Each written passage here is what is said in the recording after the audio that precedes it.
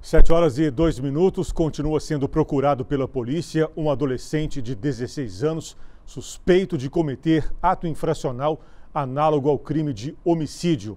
A ação aconteceu na cidade de Vargem Alegre, no Vale do Rio Doce. E a gente conversa agora ao vivo com o repórter Sávio Scarabelli, que tem outros detalhes desse caso. Sávio, boa noite para você.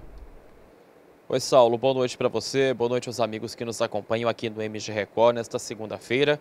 Esse adolescente de 16 anos é apontado pela Polícia Militar como o principal suspeito de ter baleado um homem de 46 anos no bairro Antônio Quirino, em Vargem Alegre, no último sábado. Segundo a Polícia Militar, o crime teria ocorrido após o carro da vítima ter encostado na traseira da motocicleta em que o suspeito estava. Conforme as, as informações dos militares, no último sábado, a moto em que estavam o suspeito e também o comparsa e o carro da vítima é, passavam pelo bairro Antônio Quirino quando o carro da vítima encostou na traseira dessa motocicleta.